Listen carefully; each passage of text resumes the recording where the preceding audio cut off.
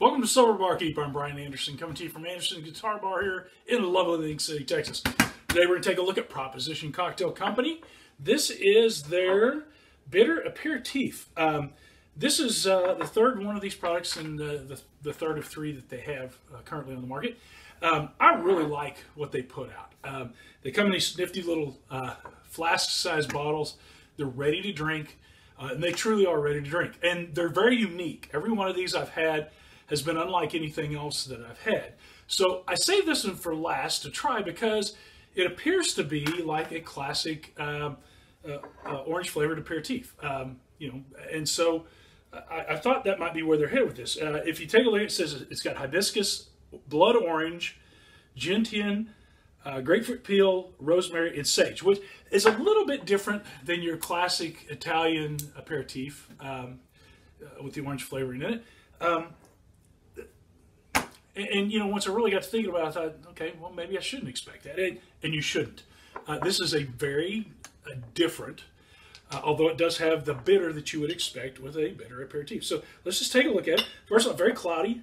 Um, it's kind of got, um, you can see the blood orange in it. It's definitely got the blood orange color in it anyway.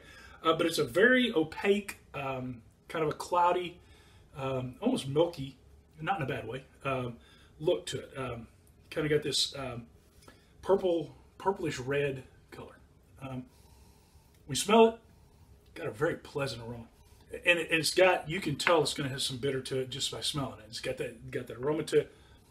Um, it's got, the hibiscus is there. Uh, you can smell that. You can smell the orange because there's a couple different types of oranges in there. Um, and uh, just the citrus peel. But it's not overbearing. It's, it's just got a really nice, really nice aroma. You put your nose in there and smell it. It's really got, got a great, great aroma. When you try it, you're hit immediately by the bitter, but it's not an overbearing bitter, and it eases up really quickly. Really dry on the back of the tongue, um, and it's got, and I think that's the um, the orange peel or the, the grapefruit peel in there. Does have a mild grapefruit uh, flavor to it, uh, but it's definitely got the orange up front. Uh, with this, what, what's really odd here, I don't taste hibiscus. You smell it. I didn't taste it. Um, but it does have just a really mild rosemary flavor to it, which I love cooking with rosemary. Um, and I didn't expect that, even though you see it in here. I wasn't sure what to expect, I guess. Not that I didn't expect it. I wasn't sure what to expect. And I wasn't sure how that was going to blend with the rest of these flavors. And this is what I think really sets this out differently than some of the classic Italian aperitifs is, um, number one, it's got a much more viscous flavor to it. Um, and maybe that's because it's in the ready to drink mode here. So it's not just a uh, an Italian style aperitif. It's it's like a mixed cocktail with with a bitter in it, and and that's really what this is. This is really like a really finely mixed uh, cocktail. Um, I want to try it with a little ice. Again, these are designed to be drunk straight out of the bottle if you like. Uh, it's kind of cool. Um, but but you can also you can use them as a mixer. Although I'm not sure quite frankly, what I would do with this one.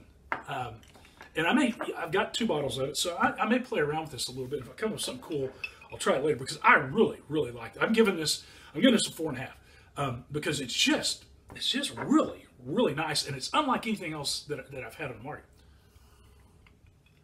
When you put it on ice, it just, again, it's got that nice bitter right up front, but it's not this overbearing and then the, the, the flavors just build. I really, this is something, again, this, don't let the small size of this bottle offset you. This, this, what I just poured will last me the rest of the evening. This is a true sipping cocktail. Uh, and it's, it's just got, because the flavors build and there's just a lot there for you to taste, which is what I always loved about a nice sipping cocktail. Um, and you almost had to have a, a, fairly strong cocktail. That's the reason I think I like single malt scotches, is because uh, it, it, slows you down and kept you from drinking quite so much of it. I don't know what it is about this. I don't know if it's the bitters that you up front or that that slow build of flavor.